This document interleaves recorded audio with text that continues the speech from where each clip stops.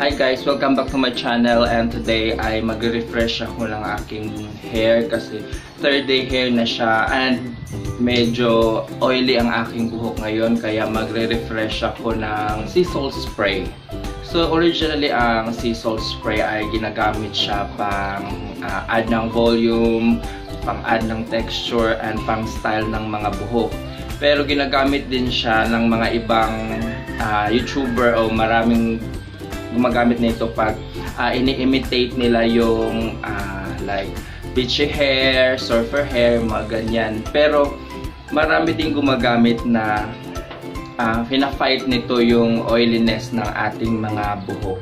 Kasi last time nung nag-wash day ako ay medyo napadami yung aking paggamit ng castor oil nung nag-scrunch ako ng aking buhok. Kaya kinabukasan feeling ko flat na flat siya and oily talaga siya.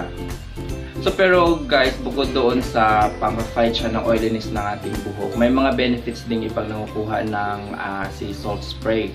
At saka nakapag-fight din siya ng itchiness ng ating scalp. So minsan kasi pag halimbawa, hindi pa ako, ayaw ko pang mag-wash ng aking buhok, ay ina-sprayhan ko na lang siya ng sea salt spray. So, may mga nabibili ka na ng mga sea salt spray na ready to use na. So, pero ako dahil mahilig ako sa DIY, so gagawa ako ng aking sariling sea salt spray. So, ang ginagandahan kasi pag halimbawa nag-DIY ka ng sea salt spray ay pwede mong i-personalize. So, pwede kang mag-add ng essential oil, pwede kang mag-add ng oil uh, like castor oil, uh, coconut oil, jojoba oil, grapeseed oil, mga ganyang oil. Pwede mo siyang ilagay. Pwede ka ring maglagay ng conditioner para may added uh, moisture. And so kung gusto mo rin naman ng konting hold, uh, pwede ka rin mag-add ng uh, gel. So kung halimbawa mas gusto mo pa ng mas level up yung volume and yung hold, pwede kang mag-apply ng wax after mong mag-spray ng sea salt. So pero guys, ingat lang talaga kayo sa paggamit ng sea salt spray kasi sobrang nakaka-dry siya ng buhok. So kaya nga ginagamit ko siya pag oily lang yung aking buhok. Pero kung halimbawa gusto niyo talagang gumamit pagka tuyo ng buhok nyo ay maglagay kayo ng konting oil pang moisturize lang sa kanya. So, ipapakita ko sa inyo ngayon guys kung paano ko gagawin yung sea salt spray. So, ang kailangan nyo lang ay hot water, yung normal temperature na water, drinking water, at yung salt. So, ang gagawin ko ngayon ay yung pinaka-basic lang. Sea salt lang talaga, wala akong i-add na kahit ano. Kasi, gagawin ko lang naman siyang pang-refresh ng aking buhok para ma-fight yung oiliness. Kailangan mo din ng container kung saan mo i-mix yung salt and water. Kailangan mo rin ng empty spray bottle para mas madaling i-spray sa buhok, i-apply sa buhok. So, kuha lang ako ng isang kutsarang asin. Uh, tansyahin nyo na lang guys kung kaano kadami yung salt. Depende sa water. So, mas konti yung water, mas dry yung effect. So, ang gagamitin ko ay isang kutsarang asin. Itutunawin mo lang sa hot water.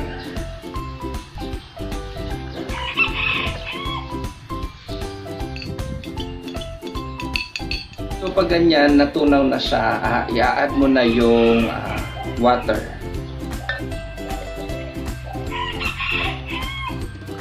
And then, ita-transfer ko dito sa spray. Ayan na siya.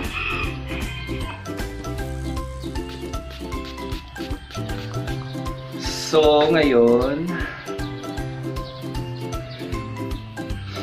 yan ang aking buhok after 3 days nakita nyo, oil, oil, oil.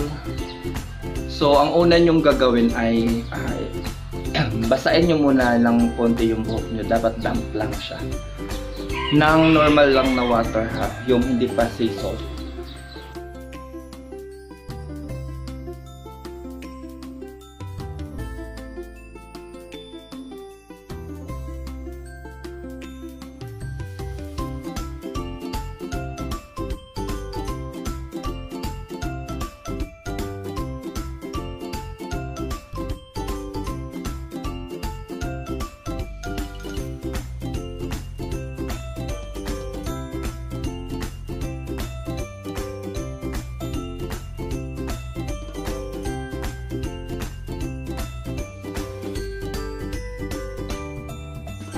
Mga ganito, basa siya pero hindi naman sobrang tumutulo siya, hindi siya dripping wet. So, ito na yung sea salt spray natin. I-spray ko na siya. Magpo-focus ako dito sa scalp kasi madalas ito yung oily and nangangati.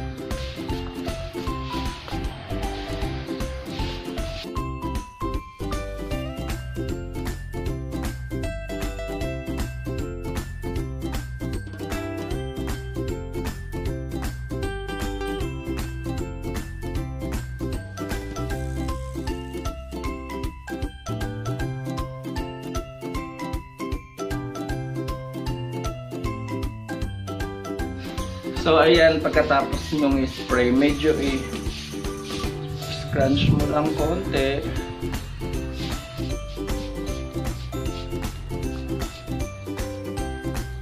At konti, kung feeling mo, kailangan pa ng konti sa part na yan. Basta ingat lang sa paggamit kasi